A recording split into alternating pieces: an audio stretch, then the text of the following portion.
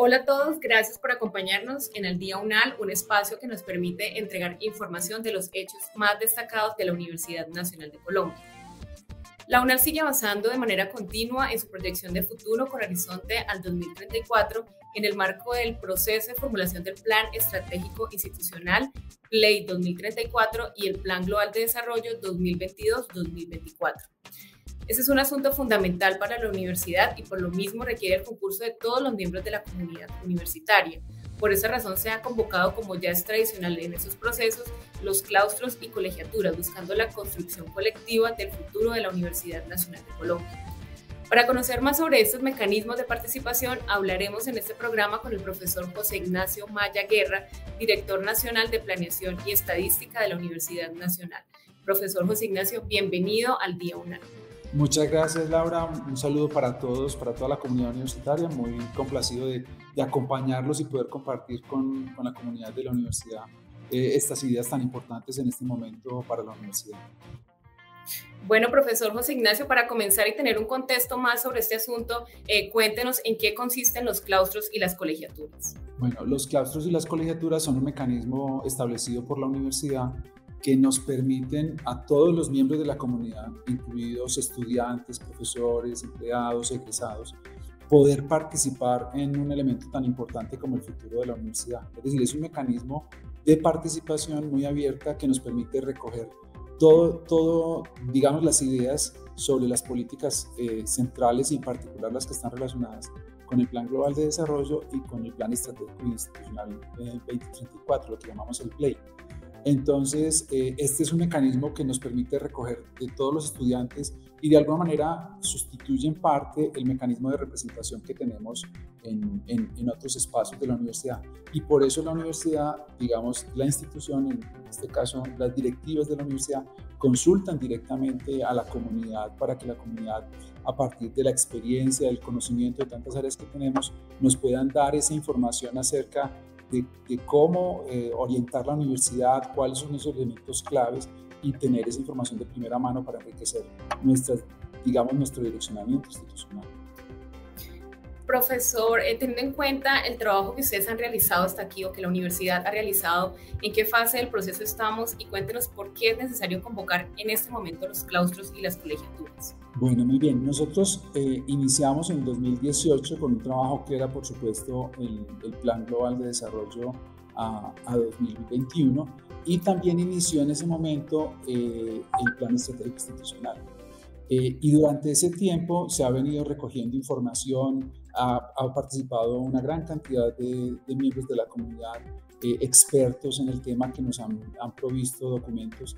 En este tiempo también se ha aprobado una versión, una, una versión primera del Plan Estratégico Institucional, pero esa versión primera eh, todavía, digamos, necesita avanzar. Es un camino, es un proceso dinámico de la construcción del direccionamiento de futuro a, a 2034 y eh, la rectoría, una vez que, digamos que es nombrado el rector, entonces hay un tiempo eh, que se establece para convocar los claustros y las colegiaturas. Entonces, la rectoría ha convocado estos claustros precisamente para obtener ese insumo tan valioso que puede, que puede darnos la comunidad para establecer el horizonte y el direccionamiento, eh, digamos, estratégico del institucional, institucional. Entonces, aquí el, el, elemento clave es, estamos cumpliendo un digamos, una instrucción que tiene la universidad dentro de sus, sus normativas de convocar a la comunidad y es lo que estamos haciendo en este momento, precisamente de cara no solamente al, al, Plan Global de Desarrollo que iniciamos el próximo año para confeccionarlo, para recoger las mejores ideas, las mejores, las mejores propuestas, evaluarlas, eh, organizar su pertinencia, eh, pero sobre todo nutrirnos de, y enriquecernos de la comunidad para ese documento. Entonces ese es el, el elemento que convoca a la comunidad y el que queremos contar con la participación de todos. Profesor José Ignacio, hablemos un poco de la metodología. Cuéntenos cómo se desarrollarán esos procesos participativos. Bueno, primero, digamos, hay, un, hay una convocatoria de claustros y colegiaturas por áreas curriculares. Entonces, las áreas curriculares, es, eh, por un lado, convocan a los estudiantes y eso es, es muy, eh, eh, digamos, es muy emocionante porque el estudiantado, los estudiantes pueden participar con sus ideas. Hay unos documentos centrales bases que, que, digamos, sirven de insumo. Están los documentos del Play, eh, están, digamos, los capítulos finales, pero también está la propuesta rectoral, que es un insumo muy valioso para la discusión.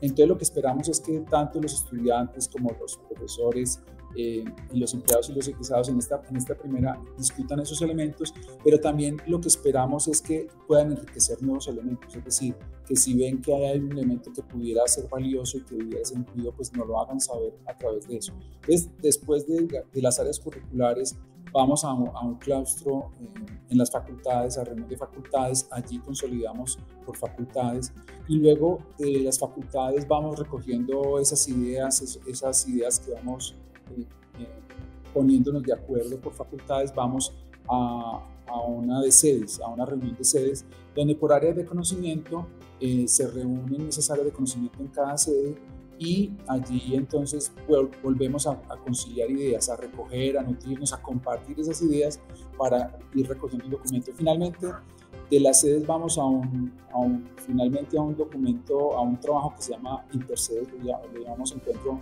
Intersedes, donde representantes, siempre es por representantes, después de las áreas curriculares, ya vamos por representantes, vamos representantes de las áreas curriculares, de los docentes, y allí vamos, vamos recogiendo. Cuando llegamos Intersedes, de nuevo tenemos esos documentos.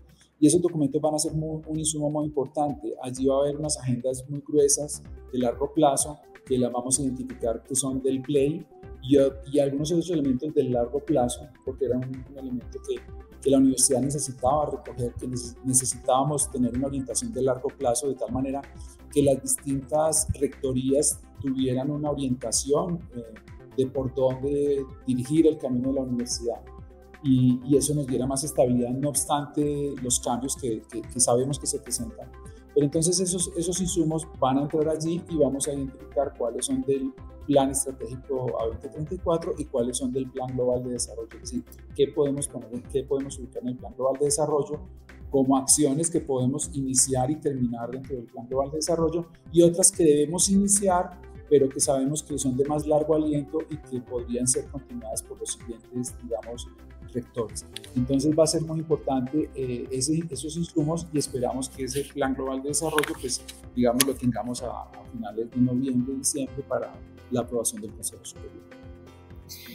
Bien, profesor. Eh, entonces, como usted nos ha, nos ha indicado, pues hay unos documentos base para las discusiones, que es la versión 1.5 del PLAY y la propuesta rectoral 2021-2024, Proyecto Cultural Científico y Colectivo de Nación con base en esos documentos, eh, qué tipo de aportes o de trabajo se espera alrededor eh, de esta información con la comunidad universitaria.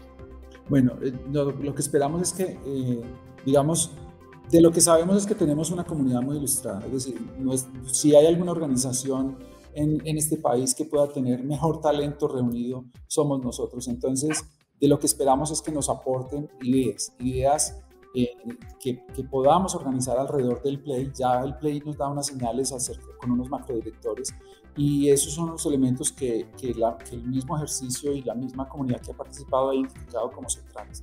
Entonces, lo que esperamos son unos aportes, digamos, muy concretos, muy, esperamos que también lo podamos, los podamos eh, viabilizar pero que nos ayuden en esa construcción de futuro de lo que es importante, de, lo que como universidad nos debemos no solamente con la comunidad interna, sino también especialmente con quienes cuentan mucho con la Universidad Nacional para el Desarrollo y la unidad del país. Es decir, de cómo es porque nuestra existencia se debe, la naturaleza nuestra existencia se debe al, al resto del país, a, a, lo que podemos hacer con, con, el país. Entonces, para nosotros es muy importante recibir esas ideas y van a, van a aparecer allí lo que esperamos que sean unas propuestas que en la medida que puedan ser organizadas, que podamos identificar como proyectos o como programas, va a ser muy valioso tener esa información allí. Eh, profesor, ¿cómo se organizan los claustros? ¿Quiénes pueden hacer parte de esos ejercicios de participación? Bueno, eh, todos los miembros de la comunidad académica, eso incluye a los estudiantes, por supuesto, a todos los estudiantes de pregrado y de posgrado, eh, nuestros profesores, empleados, incluye también a, nuestros egresados, entonces, ah, allí hay un gran espacio para, para, para recibir información de toda la comunidad. Como lo decíamos hace un momento, este es un mecanismo participativo y ese mecanismo precisamente consulta a la comunidad acerca de, cómo orientar el destino de la institución, lo que es un elemento muy valioso.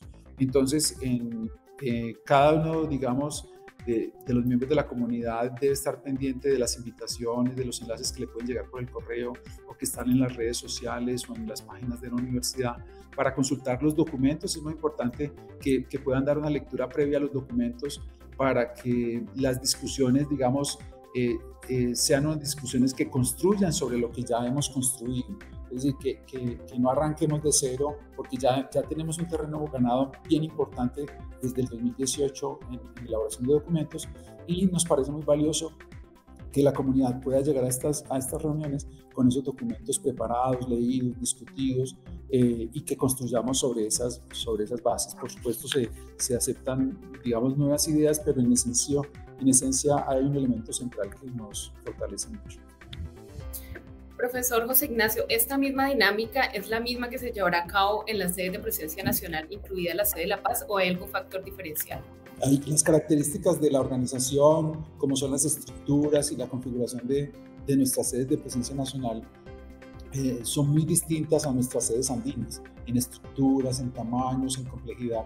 Entonces allí las reuniones son más generales y allí hay que tener en cuenta, incluso para todas las sedes, que cada sede, de acuerdo a las características, digamos, de, de bioseguridad, establece eh, si las reuniones son presenciales, si son en línea. Sí esperamos que las reuniones del, de intersedes, la, la, última reunión donde se recoge toda la información antes de presentar al consejo académico, eh, sea presencial. Eh, pero en, la sede, en, en nuestras sedes de presencia nacional la configuración es distinta, entonces allí el, el director de, de, la sede establece la reunión y allí, allí seguramente será solamente una reunión y de esa reunión pasamos a intersedes. Entonces, las características de, nuestras sedes eh, en el territorio son distintas y precisamente el modelo aplica distinto para ellas. Profe, eh, entonces eh, vamos a, estar en claustros y colegiaturas. ¿Cuál es el paso siguiente después de que finalicemos estas reuniones, incluidas las reuniones intersedes? Bueno, entonces, una vez pasan las reuniones intersedes, la, digamos que la información que se recoge allí se presenta al Consejo Académico. Y, con esa información del Consejo Académico, pues nosotros tomamos nota de esos elementos para incorporar en, las propuestas del documento de plan de desarrollo. Ese documento de plan de desarrollo elaborado, organizado eh, con, el equipo de rectoría, también pasa a, un comité especial, un comité estratégico y eh, previo digamos, esos borradores se van ajustando con las recomendaciones previo a pasar de nuevo al Consejo Académico y contando con el aval, eh, con su aval, luego pasar al Consejo Superior para la aprobación. Por supuesto, también requerirá que, que estemos eh, verificando la disponibilidad de recursos financieros para financiar el proyecto, porque por un lado habrá que, digamos, el, el, el trabajo incluye no solamente la viabilización técnica, sino también la viabilización financiera de las propuestas que allí, que allí, que allí estén. Entonces, esa incluye una priorización y, por supuesto, la identificación de los recursos disponibles para, para su ejecución. Bueno, profesor José Ignacio, ya estamos terminando este espacio, pero antes me gustaría hacerle una última pregunta. Cuéntenos por qué es importante que la comunidad universitaria tenga una participación activa en estos espacios. Muy bien. Eh, es digamos que es de las, de, las grandes posibilidades, de, de las cosas especiales que, que, nos pueden pasar en la universidad y es la oportunidad de que podamos participar en el destino de nuestra universidad. Es decir, nos sentimos todos los que hemos sido estudiantes, empleados, eh, profesores o egresados de, de la universidad, todos tenemos un cariño muy especial por la universidad y nos interesa el futuro de la universidad, pero nos interesa también un futuro sostenible, un futuro que converse con, con el desarrollo del país y entonces que tengamos la oportunidad de participar en aportar a esas decisiones, de aportar en soluciones, yo, yo creo que es de, de las cosas, digamos, valiosas que a uno le pueden también pasar en la universidad. Entonces, que la universidad cuente, voy a ponerme en, el papel de cada uno de, quienes nos escuchan, que la universidad cuente con, con mi proposición, con mi, mi capacidad de proposición, con mi creatividad para identificar soluciones o acciones que la universidad debe desarrollar no solamente en el interior, sino también hacia afuera, yo creo que es muy valioso. Entonces ese es como el, el reconocimiento máximo que incluso la universidad le puede otorgar a uno como miembro y es contar con sus ideas, contar con su opinión. Este es un, la universidad es un escenario de, de, participación, de discusión, de enriquecimiento de ideas y, y no podríamos ser ajeno a, nuestra misma naturaleza. Entonces yo creo que eso es de lo más valioso y por eso quiero invitarlos a todos a que participen activamente, constructivamente, también de la manera más respetuosa, porque también la universidad es un espacio también para los disensos, para pensar distinto, para, para pensar de manera diferente, de manera creativa, innovadora, disruptiva. Y entonces eh, eh, ese es este tipo de espacios, es decir, la idea es que lo hagamos muy organizadamente, por supuesto hay unos mecanismos, pero también que nos entusiasmemos, que nos animemos a, construir eh, la universidad. Bueno, profesor José Ignacio, hemos llegado al final de este programa. Muchas gracias por aceptar la invitación y explicarnos mejor esos procesos de participación que son fundamentales para la construcción colectiva y el futuro de nuestra universidad.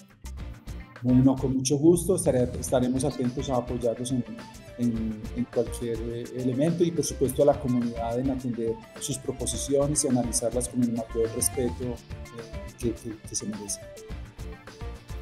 Y a todos ustedes, gracias por conectarse con este espacio. Nos encontramos en otra oportunidad para seguir al día con todo lo que sucede en la Universidad Nacional de Colombia.